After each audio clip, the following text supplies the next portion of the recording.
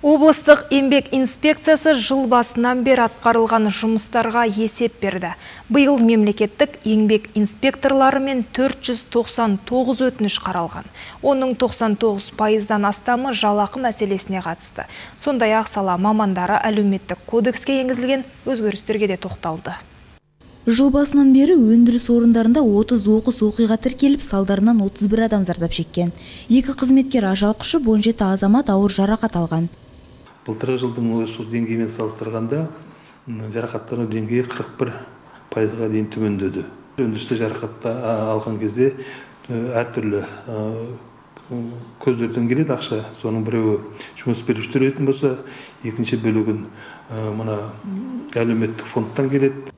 Қабылданған әлеуметтік кодекс негізінде еңбек заңдылықтарында да бір қатар өзгерістер енді. Соның аясында 4 күндік, 5 күндік және 6 күндік жұмыс аптасын кезекпен ауыстыру қарастырылуда. Тиісті төленетін төлемдер өзгермеу керек, еңбек ақының көлемі және де сол кезде мына 4 күндік жұмыс 6 күндік жұмыс аптасы бойынша онда қай күндер демалыс болады олар? Жұма сенбі жексенбі күндері демалыс болады немесе олардың өздерінің арасында келісім бойынша тағы да өзгеріп отыруы мүмкін. Бірақ осының бәрі түбін алып келген кезде жұмысшы мен жұмыс берушінің арасында келісім бойынша және жұмысшының осы жерде ешқандай құқықтары бұзылмау керек.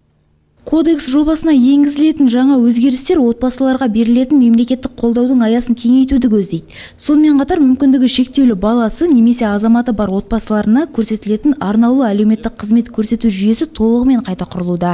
Зина Сұрғазиева, Мейрас Хатұлы, Алтай ақпарат.